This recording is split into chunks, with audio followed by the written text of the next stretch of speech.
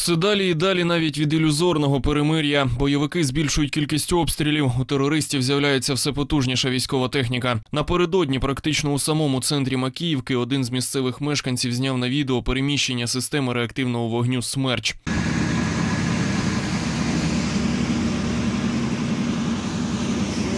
Смерч система залпового вогню розроблена в СССР. Вона значно потужніша і дальнобійніша за горизвісні гради. Окрім цього, за даними прес-центру АТО, бойовики щодня отримують і величезні партії зброї з Росії. Через неконтрольовані ділянки українсько-російського кордону у великій кількості заводяться боєприпаси, приблизно 30-40 вантажівок щодоби. Одночасно з цим на сході спостерігається рекордне зосередження військових з Російської Федерації. За попередніми даними, їх кількість на Донбасі перевищила 9 тисяч чоловік.